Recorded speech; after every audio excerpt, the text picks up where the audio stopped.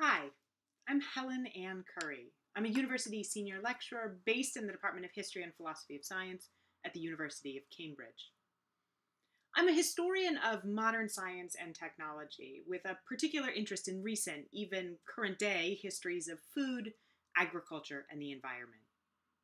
The research that I'm doing right now looks at the history of efforts to conserve genetically diverse varieties of agricultural crops. Since the start of the 20th century, and especially since the 1970s, scientists, farmers, and many other people have worried about the possibility that diverse, traditional, local crop varieties might be disappearing. In many places, these have been or are being replaced by more widely grown and often more genetically uniform commercial varieties. This scenario, in which many diverse old types are replaced by a few industrial crops, provokes different worries among different people. Professional plant breeders and other researchers have long worried that as a result of this transition, they won't have access to some of the basic starting materials that they need to breed crop varieties of the future. Propelled by this concern, scientists, typically relying on the support of national governments, started developing seed collections in the first half of the 20th century. Those collections eventually transitioned into the secure seed storage facilities that we know today as seed banks or gene banks. A prominent example of such a seed bank is the Svalbard Global Seed Vault. You may have heard about this from reports in the news. The Seed Vault is a backup collection. It stores copies or duplicates of many national and international crop seed collections from around the world in a facility that lies below the Arctic permafrost. This doomsday vault, as it's often called, is thought to keep these seeds, which scientists and breeders regard as precious genetic resources, safe from the turmoil of wars or the threat of natural disasters. The Svalbard Global Seed Vault is simply the most famous example of a seed bank today. There are, in fact, an estimated 1,700 different seed banks around the world, which together contain some 7 million individual deposits of seed. Impressive as this tally is, it represents only one response to the potential loss of crop diversity. As I said at the outset of the talk, different groups have responded to this concern in different ways.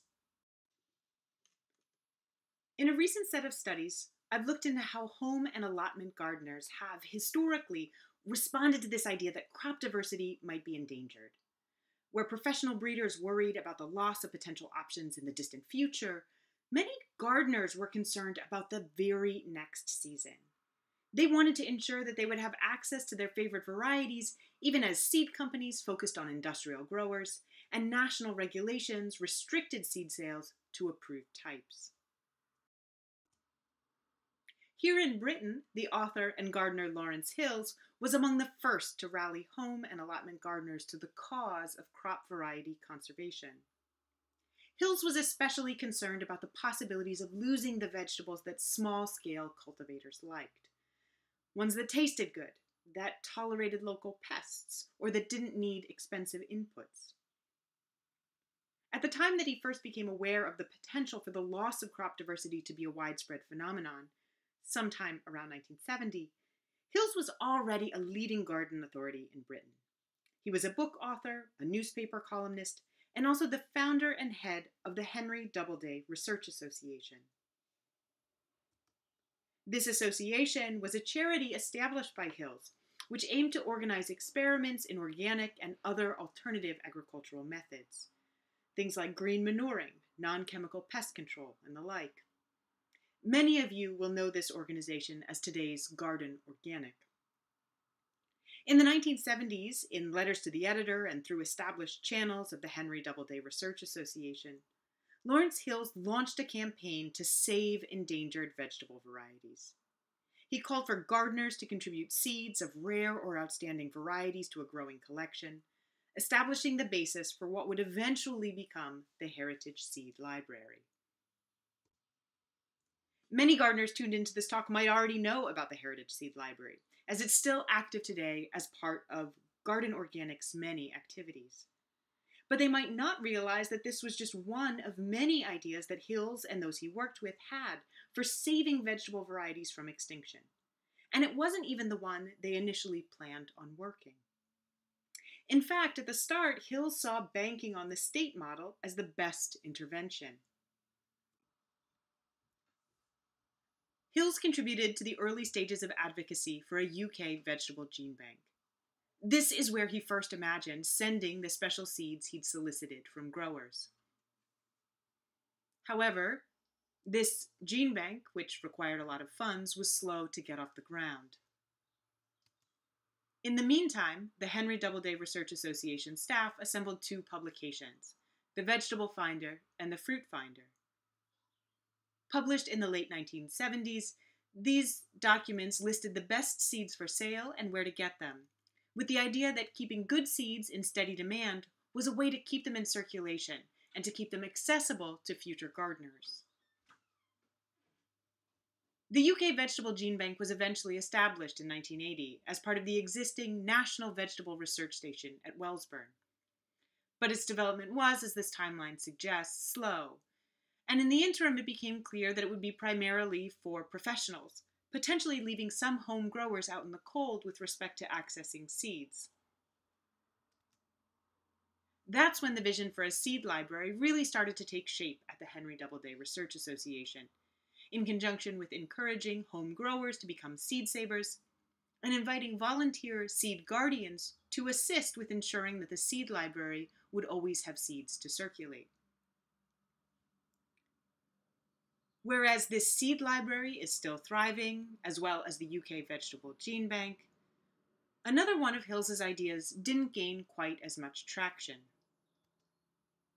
Around 1980, he attempted to launch a network of what he called vegetable sanctuaries. These would be gardens at stately homes or other sites open to the public. These sanctuaries would grow and display heritage vegetable varieties as a way of both perpetuating them and educating visitors about the importance of vegetable conservation. Just like a wildlife sanctuary, these protected spaces would ensure that rare and endangered types survived for future generations to enjoy. Although the vegetable sanctuary movement appears to have failed, only a few were established and the concept didn't catch on in the way Hills hoped. There is a case to be made that Hills and his colleagues, and like minded activists in Britain and beyond, succeeded in creating vast numbers of these sanctuaries. That's because the heritage and heirloom vegetable movement of the 1970s survives today, in many cases adapted to the interests of new groups, including immigrants, for example, and young farmers.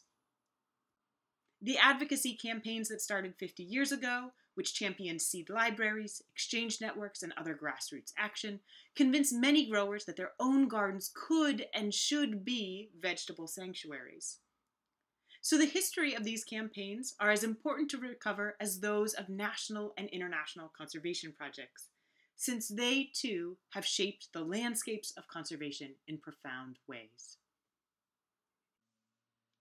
If you're interested in learning more about this story, other histories of vegetable conservation, or the history of seed banking, I encourage you to take a look at my website, where you can access the publication on which this talk is based and many others besides. Thanks for your time, and I hope you enjoy this Festival of Plants.